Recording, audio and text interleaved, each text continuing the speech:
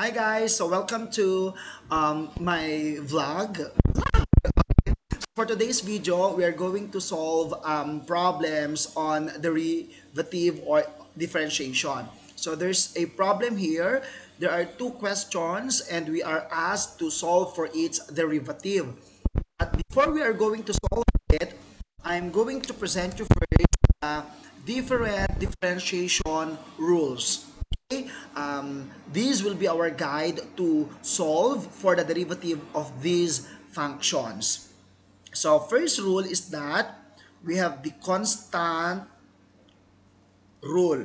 What do we mean by this constant rule? It states class that the derivative of any constant number with respect to c is always equal to 0. So for example, we have the derivative of 1 million, derivative of 1 billion, okay? Um, equals to 0 ang mga yon. Okay? So, next one is the identity rule. Okay? Identity rule. So sabi dan, the derivative of x with respect to x is always equal to 1. Okay? Number 3, we have the constant, constant, multiple, okay? We have the derivative of ku with respect to x wherein this k class is a constant number and this u here is a differentiable function of x. Okay? Ang gagawin mo lang dyan is you separate the k, gagawin mong multiplier si k, that constant number, times, kunin mo yung derivative ni u mo with respect to x. Okay? Example, um, given function 3x. So, constant mo si 3, x mo is yung u mo. Okay? So, if you're going to solve for its first derivative, so that is your y prime, so i-separate ko si 3 times, so gagawin ko siyang multiplier, no? We solve for the derivative of your x with respect to x, and that is 3 times, di ba? d of x with respect to x, um, that's under identity rule wherein that is equal to 1. So that is equal to 3. Therefore, class, um, the derivative of the function 3x is equal to 3. Ganun lang siya. Okay? Number 4, we have the sum and the difference rule. Okay? Sum and difference rule. Ang sabi doon, the derivative of u plus v with respect to x, wherein u and v are both um, um, differentiable function of x. So, gagawin mo lang class is, i-derive mo muna si u, okay, with respect to x, and then i-plus mo siya or minus sa derivative ni v with respect to x. So, example, given y equals 3x plus 1.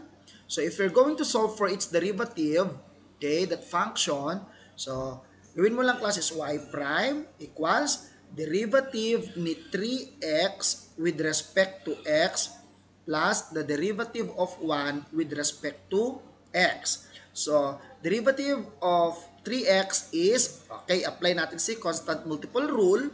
So, that's 3 times v of x all over dx plus the derivative of 1, that is the derivative of a constant, that is 0. Okay? So, we know class that 3 times the dx of x is identity rule that is equal to 1. So, plus 0 and that is equal to 3. So, the derivative of 3x plus 1 class that is equal to 3. So, that is for the sum and difference rule. Okay? Next rule is we have the product rule.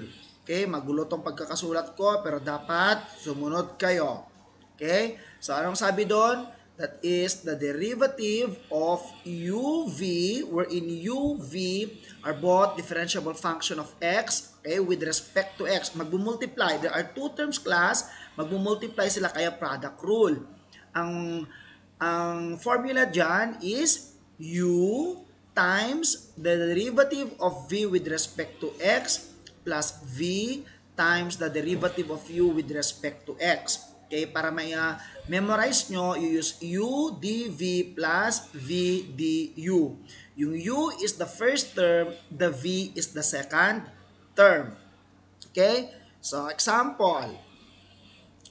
Um, find the derivative of 5x plus 1 times 2x minus 3. Okay? So, product yan kasi magmumultiply si first term tsaka second term. So, my u here is 5x plus 1. And then, my v here is 2x minus 3. So, ang y prime natin is, di ba, that is u dv plus v du. So, kailangan kong hanapin si derivative ni u and then hanapin ko si derivative ni v and then salpak-salpak na lang.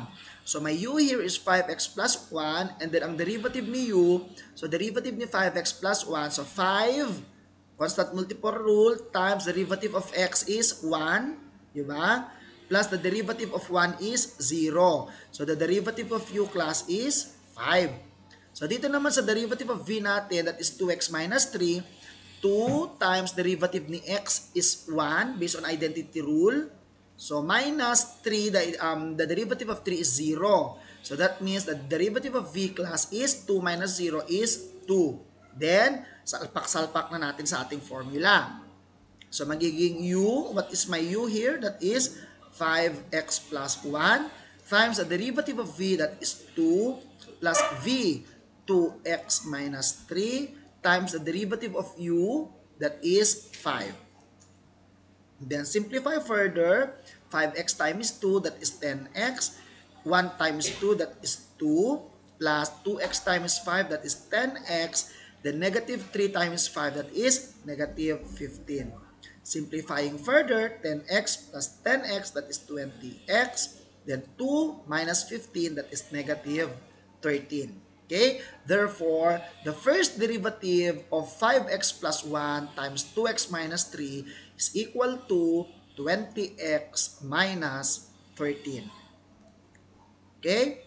Pwede nyong balik-balikan yan. Next, we have the quotient rule. Lagay ko dito sa side. Okay? Quotient rule. So, pag quotient, sagot to sa um, division. So, you have a numerator and a denominator. So, derivative of u all over v with respect to x. So, anong so, anong formula doon? Um, unahin mo klase v times the derivative of your numerator with respect to x minus to ha u or the numerator times the der- derivative of your denominator with respect to x all over the square of the denominator. Okay, yung lagi kong tinuturo na mnemonics, so for example, you have your numerator high, denominator low. For you to memorize it, um, formula niya is, syempre, pag may idol ka, you call him or her Lodi. Okay? So, Lodi high minus high D low all over law or law squared. So law times the derivative ni high minus high minus times the derivative ni law all over the square of the denominator or law squared. Okay? Law di high minus high di law all over law squared. Okay, example given. y is equal to 5x plus 1 all over 2x minus 3. So, ito lang yung given din class. Okay, 5x plus 1, pero ginawa ko siyang fraction. So, y prime class is, okay, ano yung law natin? Ano yung law natin? Law, 2x minus 3. Ito, di ba? 2x minus 3 times derivative ni high. So, that is, derivative ni numerator is 5.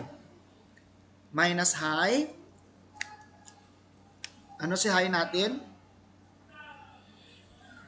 Wait, saan na tayo? Minus high is 5x plus 1 times derivative ni law that is 2. Okay? All over the square of the denominator. So simplifying further, um, 5 times 2x that is 10x minus 15 minus, okay, you have to distribute the sign dito ah. 10x, okay, plus 2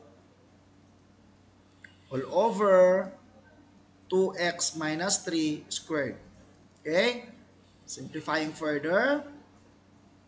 Ano lang natin? Pataas lang natin. So, 10x minus 15 minus 10x distribute sa negative sign minus 2 all over 2x minus 3 squared. So 10x minus 10x will be cancelled out. Negative 15 minus negative 2 that is negative 17 all over 2x minus 3 squared. So that is your y prime. Okay? So that's how to use the quotient rule. So Lodi high minus high di low all over low squared. And the last rule wherein also very important na kailangan yung ma uh, kabisa is the power rule. Anong sabi sa power rule?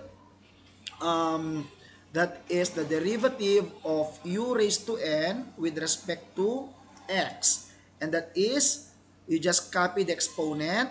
Your u is the base or the function differentiable to x. Okay? u, then subtract 1 from your exponent, and then you get the derivative of your function with respect to x. So parang baba, copy the base, minus 1, derivative of the base. So if you're going to solve that uh, problem, for example, we have y 5x plus 1 raised to 3. So y prime now is your exponent class is 3. So bring down 3, bring down the exponent, copy the base. So you have your 5x plus 1, 3 minus 1. Okay, subtract 1 from your exponent. So magiging 2. There times the derivative of your function. So derivative ni 5x plus 1. So that is 5. Okay? So multiply or simplify 3 times 5 that is 15 times 5x plus 1 squared. Okay?